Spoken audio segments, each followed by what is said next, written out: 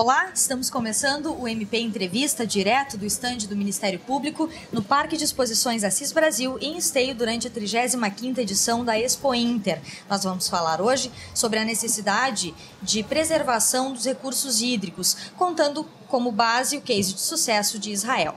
Para falar sobre o assunto, nós temos conosco aqui nos estandes do Ministério Público o cônsul de Israel em São Paulo, Ilan Stuhlman, também a promotora de justiça Mônica Maranghelli, promotora de justiça Alexandre Saltz e a promotora de justiça também Annelise Stiefelman. Nós vamos falar um pouquinho primeiro com o cônsul Stuhlman, a respeito de como é que funciona a questão da preservação dos recursos hídricos em Israel. A gente sabe que, conforme inclusive a palestra da ministra da Agricultura de Israel, Sara Yal, que esteve no Ministério Público neste ano, uh, Israel fica numa região desértica, tem escassez de recursos hídricos, mas existe uma perspectiva, segundo o próprio governo, de que não falte mais água a partir de 2014. Quais que foram os, as formas que Israel encontrou de sucesso para a captação de de recursos hídricos sem agredir o meio ambiente? É muito simples. Os recursos são limitados e nós consideramos que a água é, um, é uma riqueza natural, como talvez mais importante que o petróleo. Então, o que nós fazemos é um reusar a água. A água pode ser reusada, ela deve ser reusada. Nós temos 70, 80% da nossa do consumo de água é reusado por diversas formas, tanto em agricultura como em casas. É, hoje em dia existe uma legislação em Israel que as casas novas que são construídas, por exemplo, toda a água que é usada em banho ou em máquinas de lavar roupa ou na cozinha são colectadas, já construído antes, e reusadas.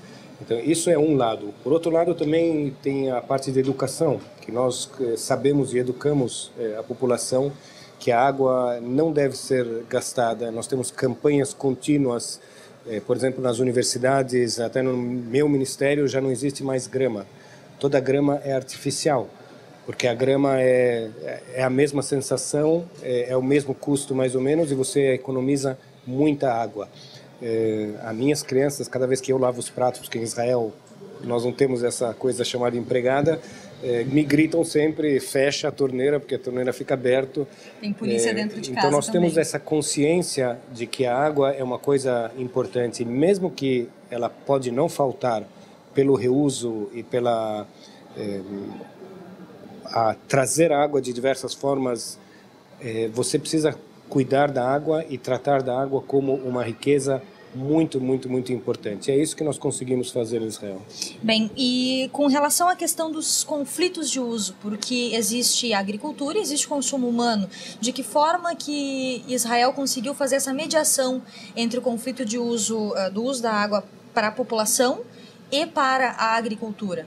Outra, primeiro, como e para te a indústria disse, também, né? Primeiro, educação. Segundo, é a gestão. Se você sabe que tem uma espécie de agricultura que é muito cara do ponto de vista de consumo de água, você muda essa cultura. Você pode fazer uma pesquisa científica e fazer uma mudança genética para esse tipo de plantação consumir menos água. Isso é um. Você pode investir em diversas tecnologias de irrigação que são muito mais eficientes, que são por gotas, é, com sistemas é, computarizados que está medindo todo o tempo quanto a planta necessita para crescer e não mais do que isso. E outra vez, uma negociação entre a sociedade civil e o governo e a indústria. É, isso é uma essa dinâmica nossa é contínua e sempre existe. Nós temos um ONG que é o ONG da defesa da natureza que é um ONG que precisa autorizar qualquer fábrica de trabalhar. E se essa fábrica está fazendo alguma política que não é, é muito bom para o meio ambiente, esse projeto não pode sair nem do papel. Então, é essa convivência entre a sociedade civil, o governo e a indústria e a consciência, outra vez, que a água é uma riqueza que tem que ser gerida de uma forma inteligente, cria uma facilidade melhor de lidar com o problema. Vocês utilizam uh, diversas formas de abastecimento de água, isso para irrigação em especial, água de estações de tratamento de efluentes e também a dessalinização da água. Qual que é o processo que se deu mais vantajoso? Olha, isso é uma questão econômica. Na verdade, eu sou diplomata, não sou engenheiro de água, não posso te, te responder. Mas eh, a dessalinização de água é uma coisa, por exemplo, que nós ficamos um pouco atrasados E só hoje nós estamos investindo recursos eh, significantes para desenvolver. Eh, eu espero que nos próximos três, quatro anos os, as pesquisas que hoje nós estamos fazendo vão dar frutos. E, mas o nosso problema não é acútico hoje em dia. Talvez por isso que a Sara tenha dito que em 2014 não vai faltar mais água, pela, por esses investimentos que estão sendo feitos em tecnologia para tratar da dessalinização. E da própria automatização também, né? Tudo se automatiza.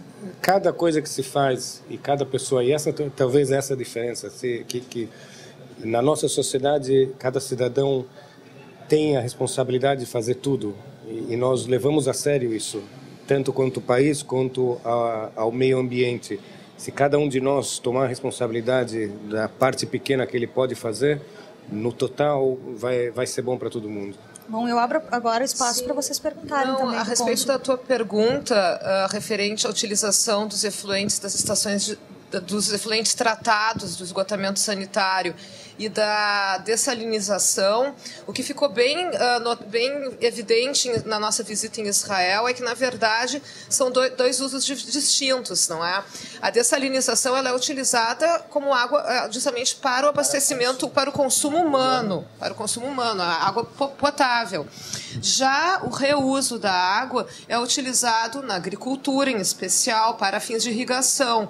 Inclusive, na, numa via, em uma viagem que nós fizemos no deserto da Galileia, chamou muito a atenção de todo o nosso grupo a existência de dois canos por todo o deserto.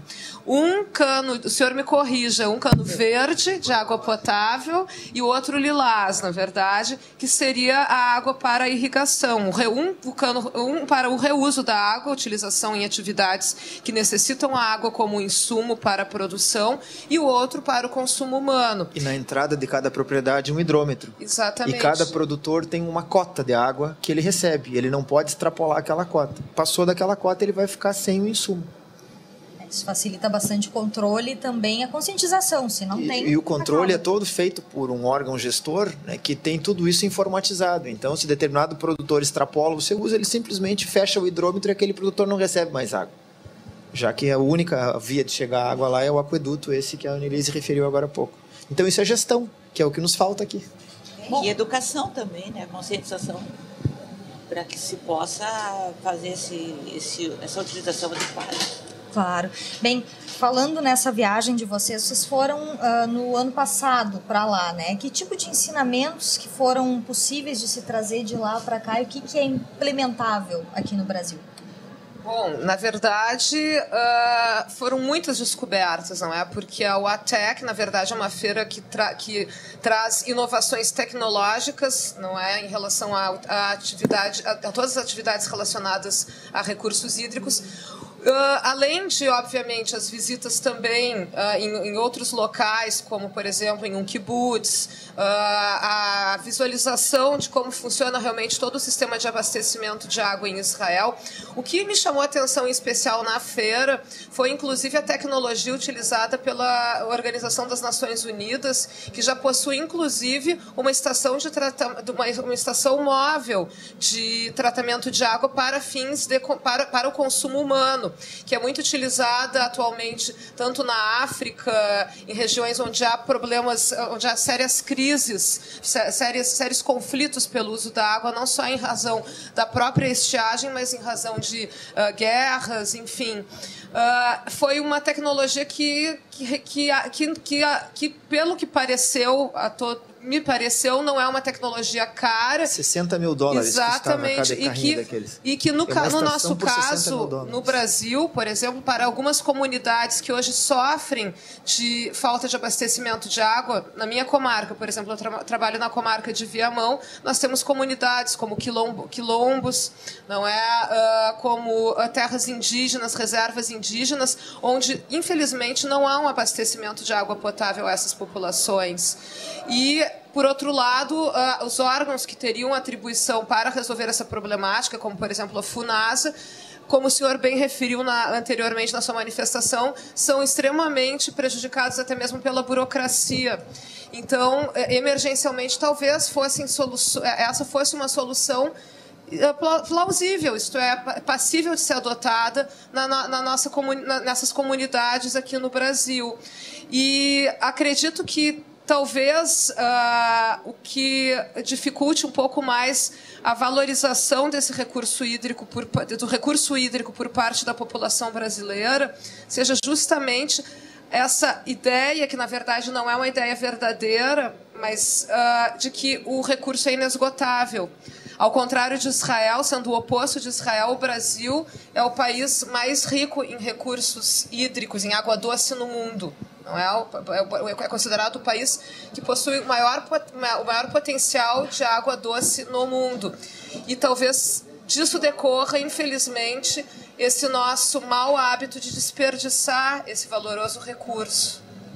Bom, a gente tem até algumas uh, informações de outras pessoas que passaram por uh, países na Europa em que o brasileiro, inclusive, é mal visto justamente por causa dessa irresponsabilidade, digamos assim.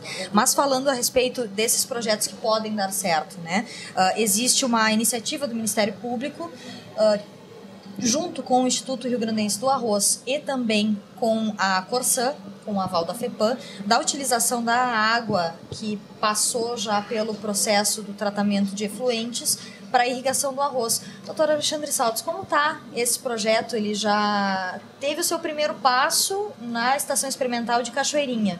Como é que anda a situação agora? É, o primeiro passo foi fazer o plantio experimental eh, em estufa, em ambiente, em ambiente de teste mesmo, para medir a produtividade, enfim, ver se, se o experimento vingaria. Eh, essa primeira etapa foi vencida, os resultados foram positivos e nesse ano eh, haverá experimentação em campo. Então, haverá o plantio em duas áreas que vão ser separadas para fins de pesquisa.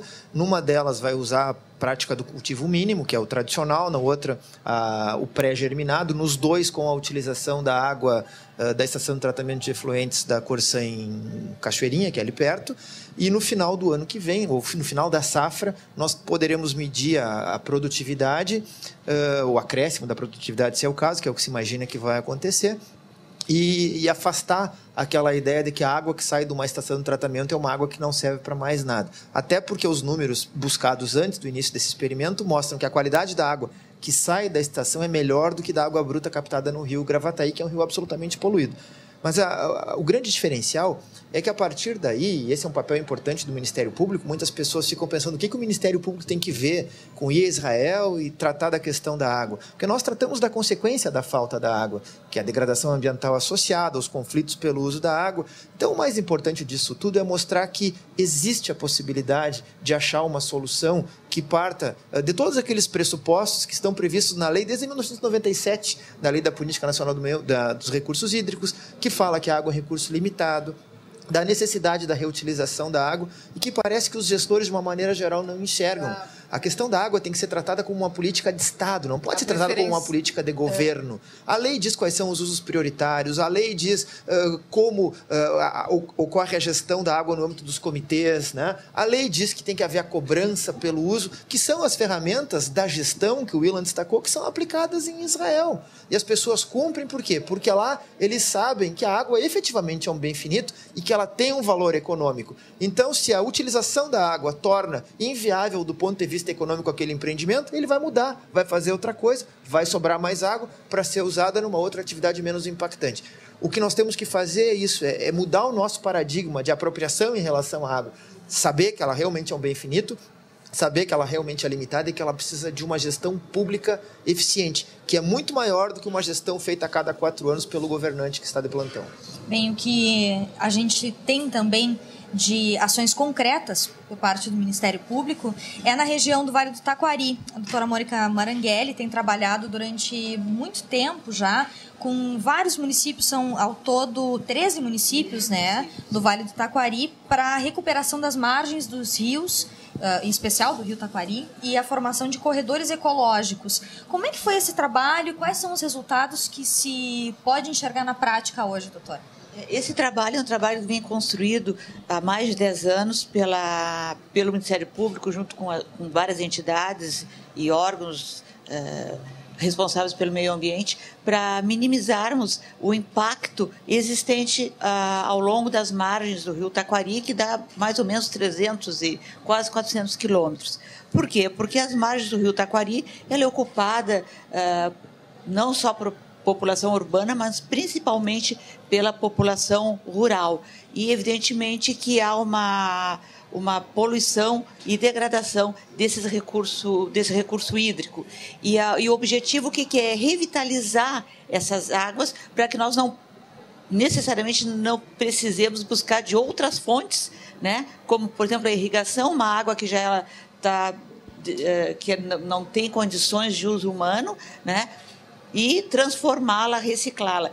Quando nós temos in natura um, um manancial maravilhoso. O Brasil, o Brasil é rico em água, é rico em natureza, só que infelizmente estamos numa caminhada ainda para que haja uma consciência, um esclarecimento em relação a essa importância e, se, e termos consciência, como disseram os colegas, que a água é um bem finito, né? E a água não pertence a, a região do Taquari, o Rio Grande do Sul, o, Brasil, o Israel. A água é um bem é, ambiental, de direito, considerado de direito humano, direito fundamental e pertence a todos nós. Então, nós, com esse nosso trabalho de revitalização de uma pequena margem do rio, é, para que se tenha uma qualidade, uma quantidade de, de, de água, ela representa um, um um trabalho assim bastante um, árduo à medida que nós temos que adentrar em propriedades particulares para que se faça essa recuperação. Então, daí é com base até nessa filosofia que é da, da, da cultura judaica, de que ah, o mundo pode ser transformado e nós temos que trabalhar para o mundo ser transformado. E como? Através de ações solidárias, através da cooperação. E se conseguiu, nesses 13 municípios, né, que tanto o poder público como a comunidade fizesse essa restauração de corredores ecológicos que vem proteger a, a, o rio Taquari, que é a, o corredor ecológico é uma função da área de preservação permanente. Embora não seja o ideal, é, é, é, o, que, é o caminho que se tem e nós já avançamos. Hoje nós temos mais de 1.400 propriedades. Uh, recuperando ah, através de plantio ou isolamento de área e mais, estamos já pensando em formas de gestão dessas propriedades, que é um momento posterior, mas já vários órgãos,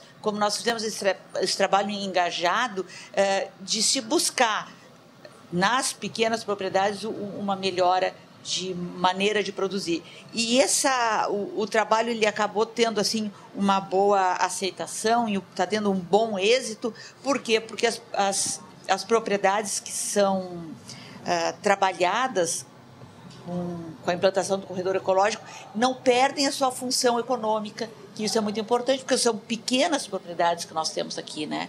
E se nós fôssemos fazer uma recuperação uh, né, ideal para o meio ambiente, nós estaríamos uh, comprometendo a questão social, a questão econômica. Então, se faz através de um diagnóstico, e, e aí que vem o, o trabalho, como eu sempre digo de formiga, é que o diagnóstico de cada propriedade, né, e com projeto adequado a essa propriedade, para que se mantenha o que se chama hoje até a famosa sustentabilidade, né? Que a pessoa permaneça ali produzindo, mas preservando os recursos naturais que tem por objetivo principal a revitalização do, do rio Taquari. E esse é um projeto que talvez possa ser replicado em outras regiões e acredito que tenha eh, trabalhos semelhantes no, no, nosso estado e no, no, Brasil.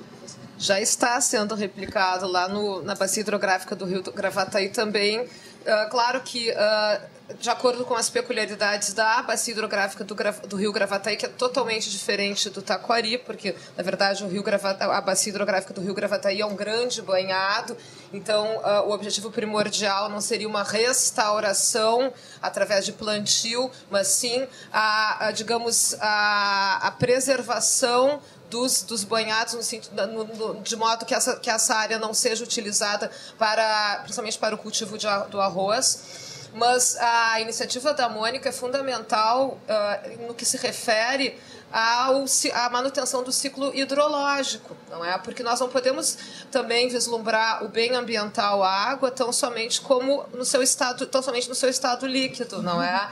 Então, a, a preservação da vegetação das margens, ela, ela é extremamente importante não só com o objetivo de evitar a erosão e, portanto, a desqualificação, digamos assim, do próprio leito do rio, mas principalmente no que se refere à evaporação, à transpiração e à manutenção do ciclo uh, hidrológico. É, então, uh, eu realmente tenho muito orgulho desse projeto da colega, porque é um projeto, uma iniciativa pioneira e que já está, assim, sendo adotada em outras bacias hidrográficas do nosso estado. E o que é, é interessante é que de ver no Google Earth, por exemplo, as ah, imagens sim, mostram sim. Uma diferença muito clara em dois entre anos já se depois, vê. Né? Em dois anos a gente já consegue perceber por imagem de satélite que apesar das enchentes que ocorrem bastante no nosso rio, o senhor está convidado a conhecer o nosso claro. projeto.